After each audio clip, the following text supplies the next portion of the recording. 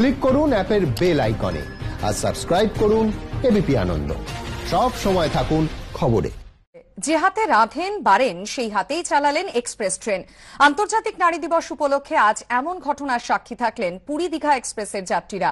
সকাল ছটা চল্লিশে খড়গপুর স্টেশন থেকে দীঘার উদ্দেশ্যে রওনা দিল ট্রেন। খড়গপুর দীঘা লাইনে এই প্রথমবার মহিলাদের হাতে ট্রেন চালানোর ভার। চালক থেকে শুরু করে ট্রেনের টিটি, গার্ড, সবাই মহিলা। ইতিহাসের সাক্ষী হতে পেরে খুশি যাত্রীরাও।